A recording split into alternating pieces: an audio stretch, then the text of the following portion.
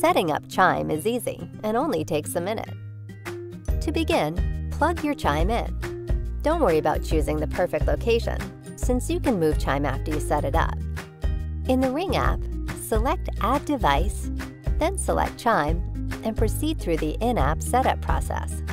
You may notice that the light on the front of your chime blinks rapidly when you first plug it in. After a few seconds, it should slow down. Before pressing Continue on the screen, make sure that you wait for your chime to start blinking slowly. If the light on your chime doesn't slow down, or if this chime has been set up previously, you'll need to perform a reset.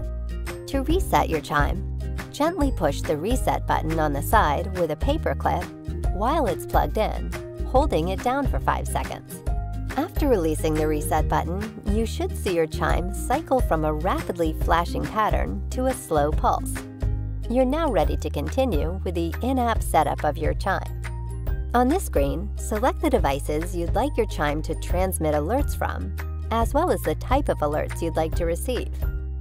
Ring alerts sound like this. and motion alerts sound like this. Once you've set up your chime successfully, take a look at the front light. It should blink rapidly a few times to indicate it has successfully joined your Wi-Fi network. Once the light on the front of your chime illuminates solid blue and stays lit, it's ready to use. If it keeps blinking, then something may have gone wrong with your setup and you'll need to try again. If it continues to fail, and you're sure you're entering your Wi-Fi password correctly, move your chime closer to your router before attempting another setup. On the settings screen, you can change the volume of your chime, as well as push this button to play a test sound. Note that sometimes, right after being set up, your chime will perform an update of its internal software and may take a minute or two before it will sound any alerts.